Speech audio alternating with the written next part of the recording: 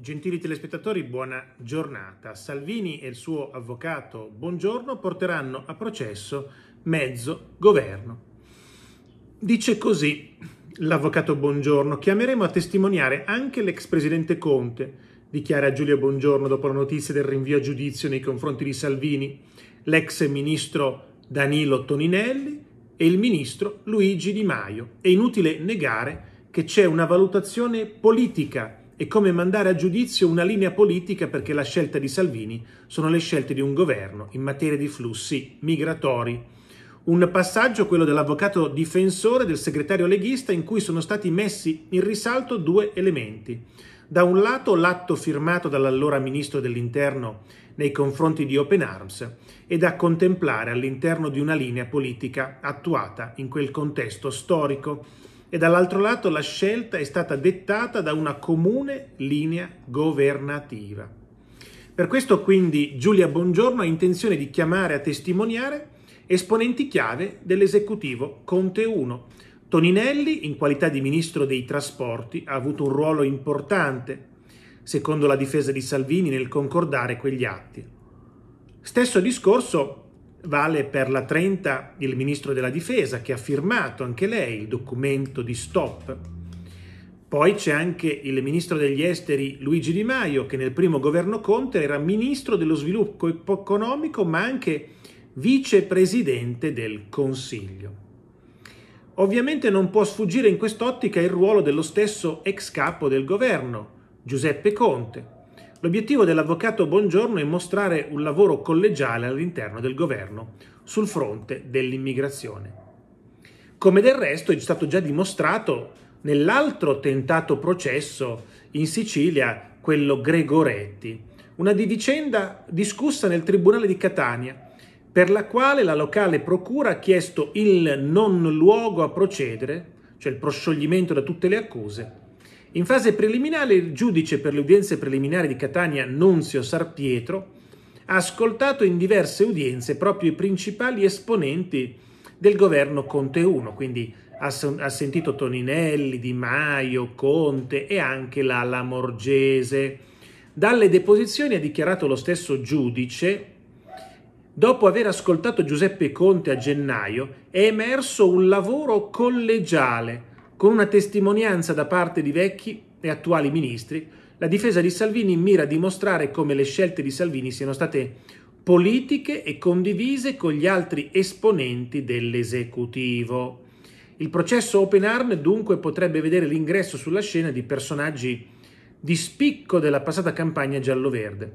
All'interno dell'aula bunker del carcere Uggiardone di Palermo dunque potrebbero mettere piede tra gli altri sia l'ex presidente del Consiglio che l'attuale titolare della Farnesina.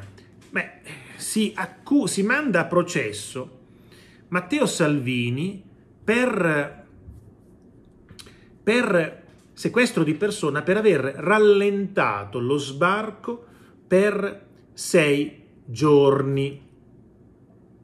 Mentre nel Conte 2 la Lamorgese ha rallentato alcuni sbarchi per 10-12 giorni, cioè il doppio dei giorni di quelli che ha realizzato Matteo Salvini. Perché? Perché c'erano le elezioni regionali, non vi ricordate? A gennaio, poi c'erano in un altro mese altre elezioni regionali, in concomitanza nei giorni prima, poco prima e poco dopo le elezioni regionali, gli sbarchi si sono fermati, non sono state autorizzate le ONG a sbarcare clandestini. Perché? Perché far sbarcare clandestini durante le elezioni regionali avrebbe comportato elettoralmente un, un possibile problema per il centro-sinistra che avrebbe perso voti. E così i giornali non ne dicevano assolutamente nulla, tranne alcuni di centrodestra, venivano fermati gli sbarchi per oltre dieci giorni in alcuni casi. E come? Salvini è questo cattivo sequestratore con la barba che, che fa paura, mentre la Lamorgese è lì che fa il ministro e nessuna procura gli è mai passato per il cervelletto di indagare la Lamorgese. Come mai? Perché due pesi, due misure? Perché una morale diversa? Ma la giustizia non è uguale per tutti? Non è uguale per tutti? La Lamorgese è colpevole di qualcosa? Secondo me no. E tantomeno Salvini.